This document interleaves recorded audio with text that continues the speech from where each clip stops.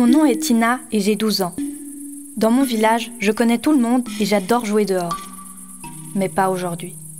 Ce matin, un groupe de personnes inconnues est entré dans mon village. Ils ont des armes et crient des choses que je ne comprends pas. C'est la première fois que je vois une mitraillette. J'ai peur. Tout le monde hurle et court et je me retrouve toute seule. On m'a dit que la guerre était arrivée et qu'il fallait s'en aller. Tous les gens que je connais s'enfuient dans la brousse. Je commence à les suivre, mais je ne sais pas où je vais. La nuit est tombée. J'ai perdu ma famille et je dois dormir sur le sol dur et froid. Pourtant, j'étais bien dans mon village. Depuis hier, je n'ai rien mangé, j'ai très faim, et je n'ai pas d'argent pour m'acheter quelque chose. Lorsque les enfants comme moi se retrouvent dans cette situation, ils sont confrontés à de grands dangers.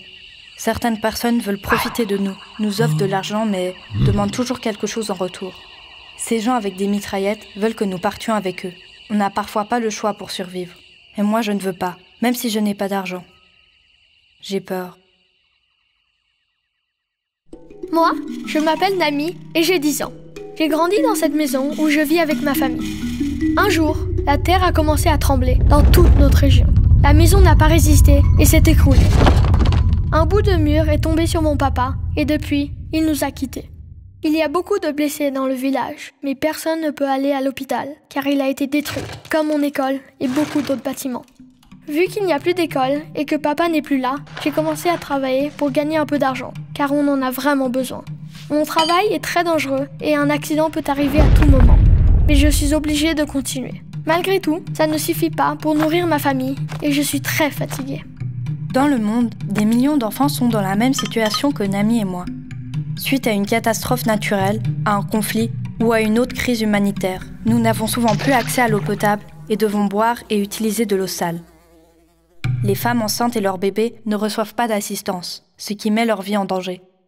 Mais les gens de Terre des Hommes sont présents dans les crises humanitaires. Ils sont là pour aider et soigner les futures mamans lorsqu'elles en ont besoin. Ils ont aussi aidé à reconstruire les bâtiments dans mon village. Et afin que nous ne tombions pas malades, ils ont organisé une distribution d'eau potable. Maintenant, je n'ai plus besoin d'aller chercher de l'eau sale à l'étang. On a aussi appris l'importance de bien se laver les mains, avec du savon et en les frottant ensemble.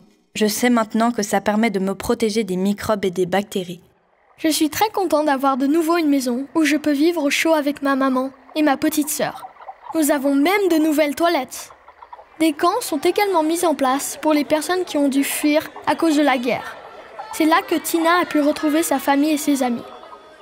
Dans les cas de crise humanitaire, comme celle que Nami et moi avons vécue, Terre des Hommes soutient les autorités locales, nous soigne et distribue des biens de première nécessité. Nous avons aussi reçu de la nourriture pour que toutes les familles puissent manger à leur faim et que les enfants n'aient plus besoin de travailler pour acheter des aliments. Grâce à Terre des Hommes, je suis protégée contre les effets de la guerre et de la violence, et contre les gens qui veulent m'exploiter. Et malgré les catastrophes naturelles, je peux retourner à l'école et m'amuser avec mes amis, tout comme des milliards d'autres enfants dans le monde.